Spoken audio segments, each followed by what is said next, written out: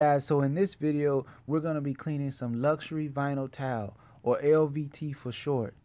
This floor was filled with pet hair and a lot of dirt. I've already swept up the floor. You can see the piles of dirt, guys. Now I'm about to scrub and extract all the soils. We had some great results with these floors. Don't forget, guys, to like, share, and subscribe to the video and enjoy the cleaning.